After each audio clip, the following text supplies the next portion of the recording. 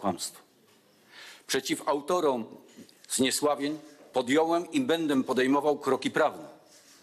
Natomiast ze spokojem oczekuję zakończenia procedur podjętych przez urzędy państwowe w sprawie moich oświadczeń majątkowych. Jeśli chodzi o kamienicę na ulicy Krasickiego 24 w Krakowie, która wywołuje najwięcej emocji. W roku 2001 kamienicę przy ulicy Krasickiego 24 oraz działkę z budynkiem mieszkalnym w gminie Brzesko przepisał na mnie w zamian za dożywotnią opiekę ich właściciel Henryk Stachowski. Znaliśmy się od ponad 20 lat. Stachowski był żołnierzem AK oraz powojennego podziemia niepodległościowego. Zapłacił za to zdrowiem w ubeckich katowniach i więzieniach. W latach 80. zapisał ładną kartę w Solidarności. Był bezdzietnym wdowcem i aż do swojej śmierci w 2007 roku stał się faktycznym członkiem mojej rodziny, uczestnicząc w jej życiu.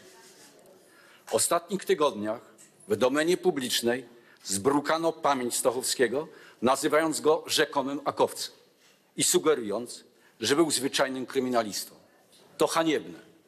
Tym bardziej, że nieżyjący Henryk Stachowski nie może się bronić. Natomiast bronią go dokumenty historyczne. Do roku 2004 kamienica została wyremontowana i przeznaczona na akademik, który prowadził mój syn Jakub, a następnie na działalność hotelowo-turystyczną. W związku ze zmianą planów zawodowych mojego syna przez ogłoszenie znalazłem nowego dzierżawcę. Nie budził żadnych obaw. Był osobą niekaraną i zainteresowaną odkupieniem od, ode mnie kamienicy, na czym także mi szczególnie zależało. 19 marca 2014 roku podpisałem dwie umowy. Pierwsza na dziesięcioletnią dzierżawę kamienicy ustalonym na 4000 zł czynszem, ale po stronie dzierżawcy zostały wszelkie koszty związane z utrzymaniem nieruchomości. Druga umowa to przyrzeczenie sprzedaży kamienicy.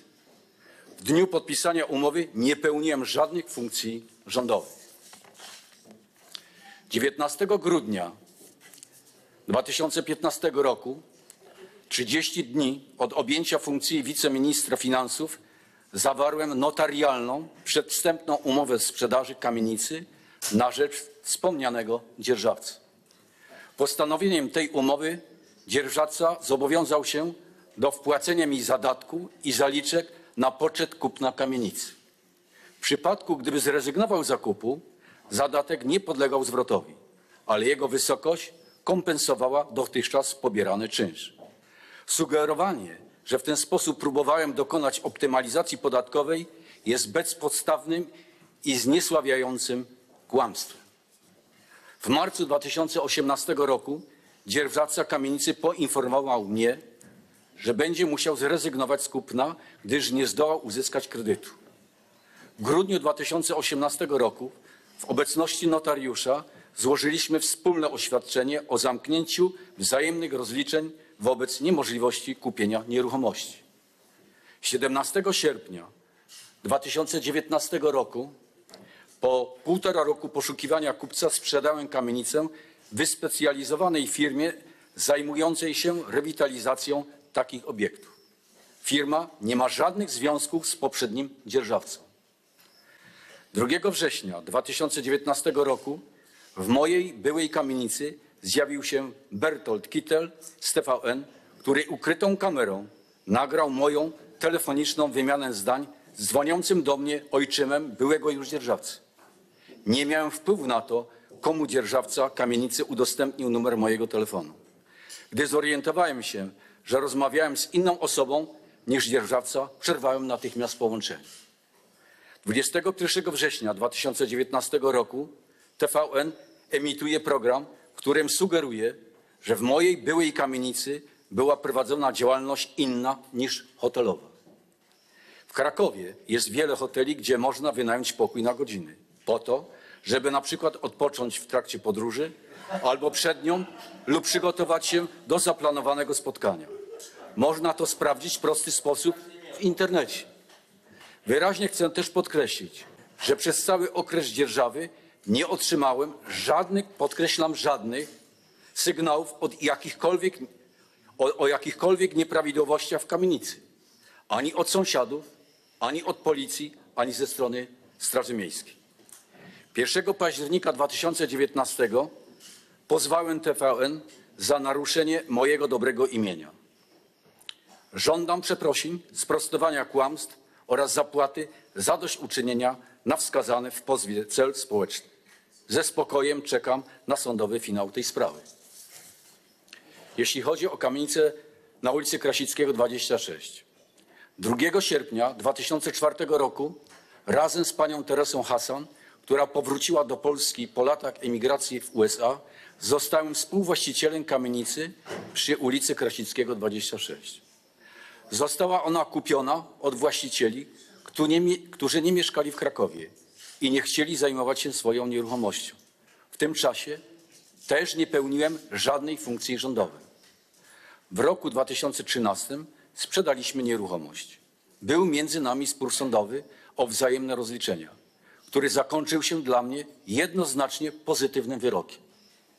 Dysponuję kopią własnoręcznego oświadczenia pani Teresy z 26 października 2019 roku, w którym oświadcza, że wywiązałem się z umowy z nią oraz, że jestem osobą rzetelną. Było to oświadczenie złożone w reakcji na publikacje w mediach, w których sugerowano moją nieuczciwość. Jeśli chodzi o związki z nieuczciwymi urzędnikami Ministerstwa Finansów, bo o to Państwo też żeście pytali. W ostatnich tygodniach opublikowano też szereg insynuacji, jakobym był patronem byłych urzędników Ministerstwa Finansów, którzy zorganizowali i uczestniczyli w przestępczym procederze wyłudzania podatku VAT. Chciałbym podkreślić, że łączenie mnie z działalnością osób podejrzanych o popełnienie przestępstw karno-skarbowych, a zatrudnionych wcześniej w resorcie finansów, jest manipulacją i nadużyciem. W chwili, gdy dotarły do mnie jako szefa Krajowej Administracji Skarbowej informacje o potencjalnych nieprawidłowościach dotyczących osób pracujących w Ministerstwie Finansów, natychmiast podjąłem decyzję o odwołaniu ich z zajmowanych stanowisk, stanowisk i rozwiązaniu umów o pracę. Stało się to wiele miesięcy przed ich zatrzymaniem. Powyższe było możliwe także dzięki powołaniu przeze mnie wiosną 2017 roku Biura Inspekcji Wewnętrznej KAS, komórki wcześniej nieznanej w służbach skarbowych, której głównym zadaniem jest działanie przeciwko każdej osobie pracującej w administracji skarbowej, która dopuszcza się działań niezgodnych z prawem. Na zakończenie pragnę podkreślić, że nigdy nie sprzeniewierzyłem się swoim obowiązkom wykonywanym dla dobra publicznego i nie podejmowałem działań niezgodnych z prawem. Twierdzenie, że jest inaczej, traktuję jako naruszenie moich chronionych prawem dóbr osobistych. Na takie szkalowanie mojego dobrego imienia będę zdecydowanie reagował.